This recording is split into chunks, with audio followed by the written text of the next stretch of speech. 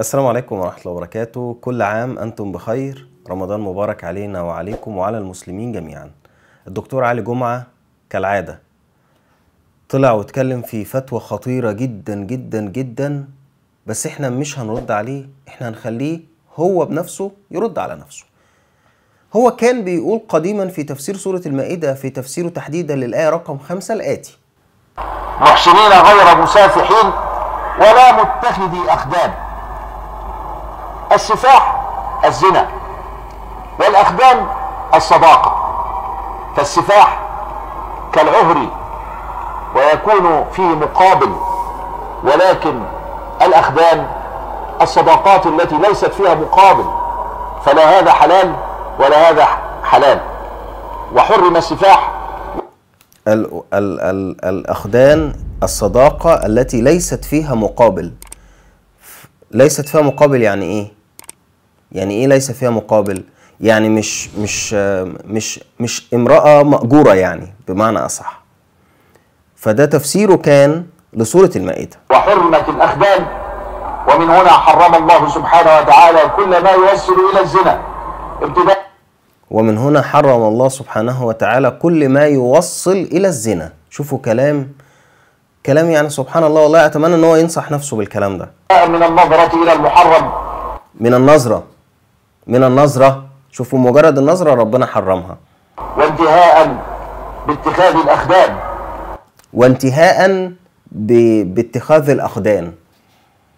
يا ترى فين كلامه بقى ده من اللي هو كان بيقوله قبل كده؟ كلامه الحاضر أو الحالي. فالزنا محرم بكل مراحله. وهذا فارق بين أهل الأديان وبين أهل الفساد. هذه النقطة هي الفارقة. فهؤلاء يريدون أن يعيشوا كما يشاءون من البداية إلى النهاية. وأهل الأديان لا يريدون هذا ويرونه حراما ويرونه ممنوعا. والله حضرتك كويس إنك حضرتك عارف إن أهل الأديان عارفين إن ده حرام. أهل الدين بقى. والله سبحانه وتعالى يحفظنا من كل سوء ويحفظ أبناءنا من رب.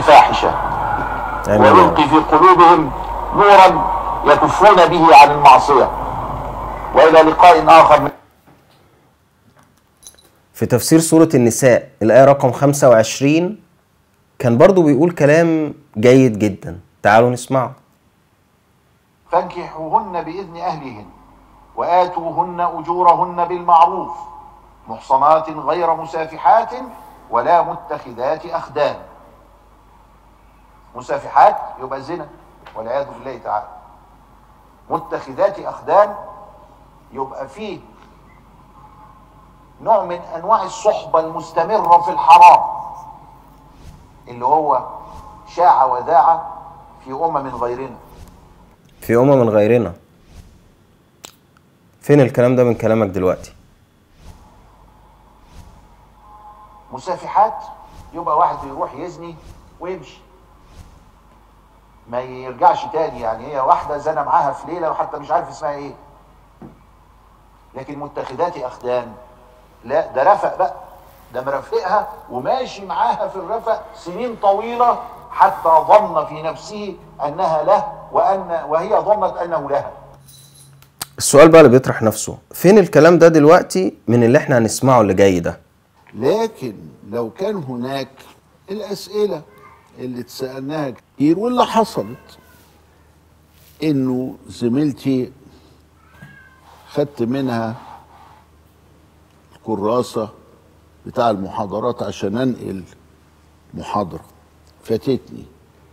أو هي خدت مني هذا الكشكول. وساعات بتشتكي لي بعض الأحوال اللي هم بيمروا بيها. أبوها قاسي. آه أبوها قاسي. فيقول لها أنا حنين والدنيا حلوة وتقعد تشتكي له شوية وهو يقعد يشتكي لها شوية. بيقول لها طب ما تيجي نتقابل؟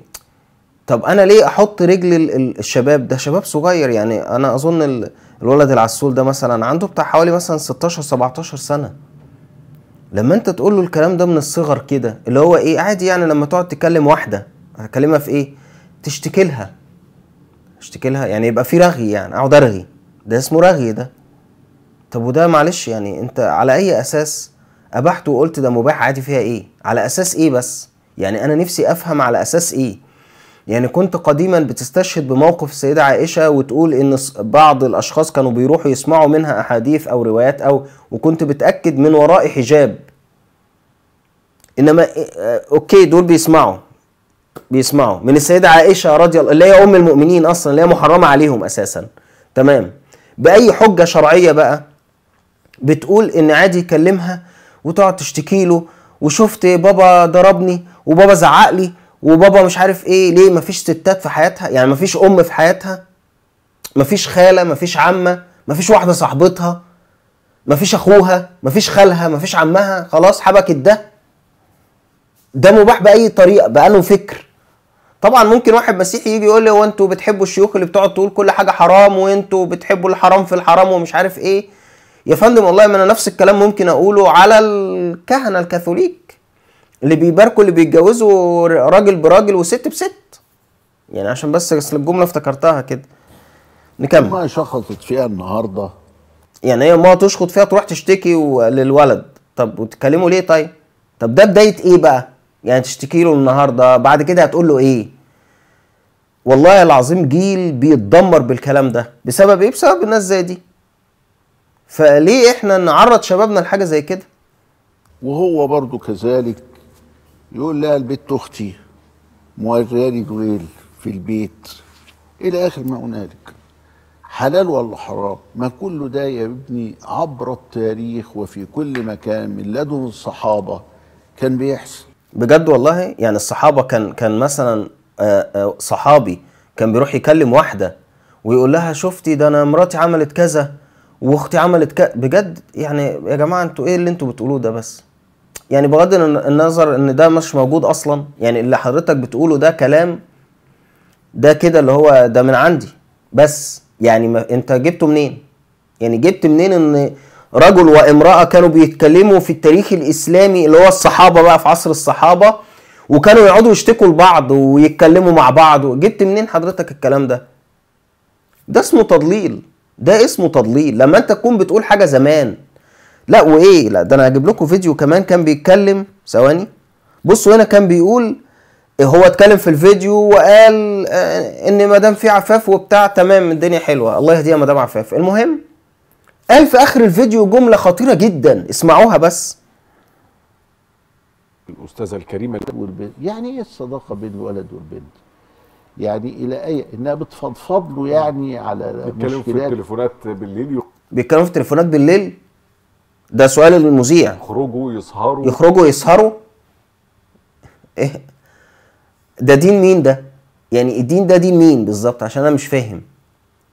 يعني إيه؟ آه، يخرجوا بالليل ويسهروا ويتكلموا بالليل؟ و- إيه يا جماعة؟ معلش عشان أصل أنا ما يعني مش عارف. أنا حاسس إن أنا لسه دخلت إسلام جديد فمش عارف مثلا. مثلا يفضفضوا في مشاكل خاصة. يفضفضوا في مشاكل خاصة اللي هو قالها حتى اللي إيه حضرتك؟ قلته ده ما احناش عارفين له بداية من نهايه هي دي المشكلة إن مش عارفين له بداية. يعني هي مشكلة تكلموا بالليل عادي يخرجوا بالليل يسهروا عادي. إنما إحنا لازم نعرف بدايته ونهايته. هي دي المشكلة عند حضرتك يعني. بالظبط. مش عارفين إيه. بس لا يعني ركزوا في اللي هو هيقوله بقى. اللي إيه اللي بيتقال جواه. إيه آه يعني آه. لكن إيه؟ فاتقوا الله ولو بشطر تمرة. آه. يعني في أعمال بسيطة نتقي فيها ربنا سبحانه وتعالى. يا دكتور علي أعمال بسيطة. الراجل بيقول لك بيسهروا بالليل. حضرتك يعني في إيه بس؟ مش فاهم. كويس والله. يعني نتقي الله ولو بشط بشطر تمرة. تمام. يعني سبحان الله النبي صلى الله عليه وسلم قال ما تركت فتنة أعظم على الرجل من النساء في أمتي. أو كما قال النبي صلى الله عليه وسلم. ومع ذلك إحنا نبيح ده. يعني أنت أنت بتتحمل وزر. أنت بتتحمل وزر كل واحد هيقع في مصيبة بسبب كلامك. يعني في أعمال بسيطة نتقي فيها ربنا سبحانه وتعالى ومنها قضية العفاف دي. كلما كان الإنسان أقرب إلى العفاف كلما كان أقرب إلى الله. أنا ده تعليق سريع. يعني أنا والله مش عارف يعني, يعني نسمع برضو الفيديو ده. إحنا عارفين إن الحب مش حرام ولكن الارتباط أكيد فيه حرمانيه الارتباط اللي هي تقصده يعني ما إحنا عشان مش مش بيقولك إن إحنا لو هنسأل فتوى نسأل شخص فاهم جوانب الفتوى. البنت دي مثلا ربنا يحفظها ويبارك فيها عندها مثلا 15 سنة أو 16 سنة. بتسأل بتقول الارتباط حرام. إيه الارتباط؟ واحدة في السن ده إن واحد يكلمها وتخرج وتمشي معاه. والله أعلم ما أعلم من ذلك يعني ده اللي بيبقى ظاهر يعني. فالطبيعي أنت تبقى فاهم صيغة السؤال وتبقى فاهم هيترتب على سؤالها ده إيه. لا. حضرتك يعني كملت أنا مثلا كده آه، ولد وبنت ينزلوا مع بعض ويخرجوا مع بعض سواء بقى بعلم الأهل أو من غير علم الأهل. فده مش المفروض حرام؟ ما دام انت شايفة إنه ده حرام هيبقى حرام. آه لو انت شايفة إن هو حرام طب ولو شايفاه حلال؟ لا حلال عادي. دي العوره المجتمعية اللي العلمانيين كانوا بيروجوا ليها دي ولا إيه؟ مش فاهم. ليه؟ لأنه بالشكل ده تخلينا عن أصل العلاقة وهي العفاف. العفاف يا أولاد بالشكل ده قدح. آه العفاف كده قدح. طب وبالنسبة ولا متخذ في اخدان الصداقة وبتاع؟ يعني أنا ما عنديش مشكلة. واحدة محتاجة حاجة ما تخلي اخوها هيكلم الشخص ده يسأله. يعني ليه هي اللي تكلمه؟ مش فاهم. يعني إيه الفكرة؟ وتقعد ترغي كمان. إحنا ده ليفل عالي قوي. يعني إن واحدة تقعد ترغي مع واحد ترغي مع واحد اللي هو إيه؟ شفت حصل لي كذا النهارده وشفت حصل لي كذا النهارده. ده في أي شرع اللي بيبيح ده الكلام ده. اللي قدام حضراتكم دي دراسة اتعملت نشرها موقع البي بي سي البريطاني فبيقول هل توجد صداقة بين رجل وامرأة بلا انجذاب جنسي؟ فبيقول ذكر يعني بعض ال- ال- الأدلة اللي بتؤكد إن نتيجة البحث إن لا الرجال بيبقوا شايفين الوضع مختلف. بيبقى فيه انجذاب جنسي بيبقى فيه انجذاب جنسي من الرجال للنساء.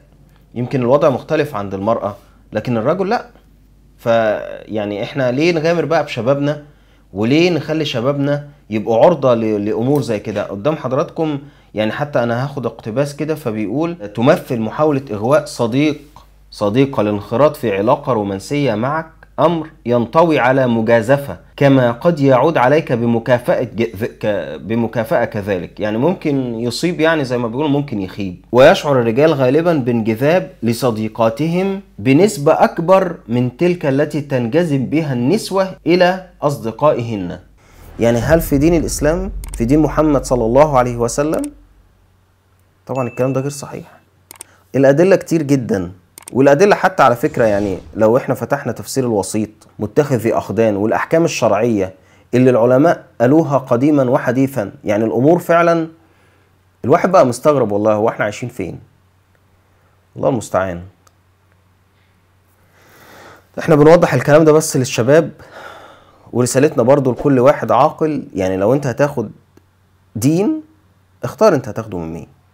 ربنا يبارك فيكم ورمضان مبارك علينا وعليكم. السلام عليكم.